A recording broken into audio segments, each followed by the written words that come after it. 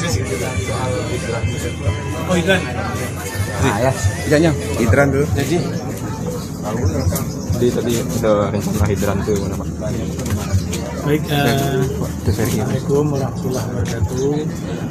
Kami dari Joko Kota Padang. Eh,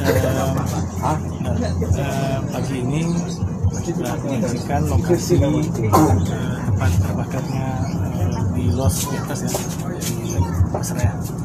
Jadi eh, memang kami sengaja ke bawah karena kami bersyukur alhamdulillah tidak semua kena itu. Jadi saat ini bersama dengan dinas eh, damkar kita berusaha untuk bisa mencegah di kemudian hari di masa yang akan datang supaya tidak terjadi lagi eh, apa kebakaran yang sebenarnya alhamdulillah kebakaran ini bisa kita hindari cepat ya. Cuman karena bahannya ini mudah cepat terbakar jadi ya alhamdulillah yang kita lihat di atas itu udah udah habis pakai pakai udah habis. Di bawah ini juga adalah oh, penjualan kain, baju dan semua. Nah, kita berinisiatif nanti insya Allah kita akan laporkan kepada ada rencana pemasangan hidran di bawah. Yang nanti pemasangan hidran ini akan dikelola oleh dinas eh, perdagangan. Karena apa? Dinas perdagangan kan menempatkan patroli. Ya, di pasar ini jadi malamnya mereka apa mereka lihat kondisi. Seperti malam-malam juga mereka yang memberitahu juga jadi dengan dengan adanya hidran kita bisa mencegah.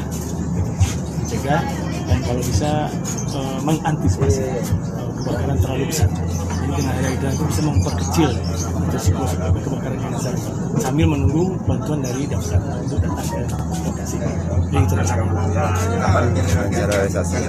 Kalau bisa saya akan bicarakan dengan Bapak Anggota segera mungkin karena eh, kita, kita tidak menunggu musibah datang.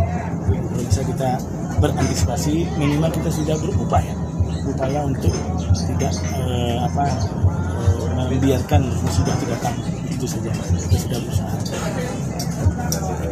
Pak terkait eh, pedagang yang kisah terbakar, apakah ada bantuan yang akan diberikan oleh eh, Pemkot Padang, Pak? Ya, nanti kita kita susun dulu datanya.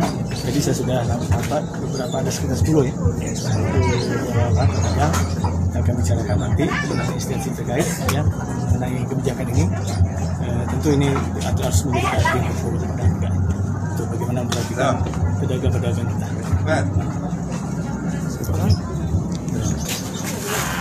maka setelah mau saya terima request ambo laporkan ah ya kata